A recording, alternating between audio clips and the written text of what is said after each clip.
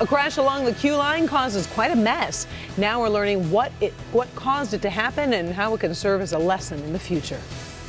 A security was rolling and captured the whole thing on Woodward and Canfield this afternoon. We talked about the learning curve that there would be with the Q line. Let's bring in Steve Garagiola. The Q line streetcar uh, didn't exactly cause this, though, correct, Steve? No, just kind of caught up in the middle of it. You know, accidents are going to happen. People drive too fast, they're distracted when they're driving, but we all have to keep in mind this is a brand new Detroit. A lot of pedestrians, lots of bicycles and bicycle lanes, and yes, the Q line. It all takes some getting used to. The damage relatively minor, as were the injuries to a man on a city bus and two people in a car hit by the bus as the car's driver negotiated around a Q line train stopped at Woodward and Canfield.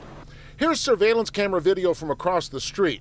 With the train stopped, watch the right side of the screen as the car moves tentatively around the stopped train and the bus nails him. An off duty EMT was on the bus and helped a fellow passenger. So he hit the rail when he was standing up. Uh, rushed to help him.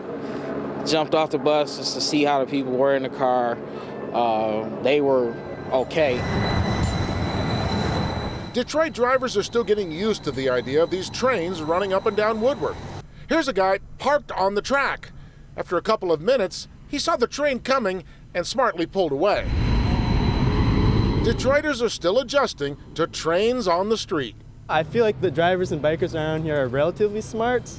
Um, I know people talk about how big um, of a pain it is for drivers to like to avoid the Q line, but for me, it's just about finding good public transportation for the people of the city.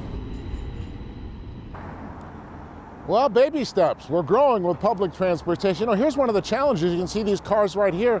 The tracks are in an actual lane, and cars have to remember there's a train there that can't go around you. You have to go around him. Thankfully, the injuries were minor. We're all going to keep learning to handle all the new congestion downtown. Guys, back to you. Steve, is Q line back up and running then? Yeah, it was shut down for about an hour and a half this afternoon. Uh, on the whole system was because they don't have that many cars running. But yeah, it's up and running again now. Everything is back to business as usual. Good to hear. All right, Steve.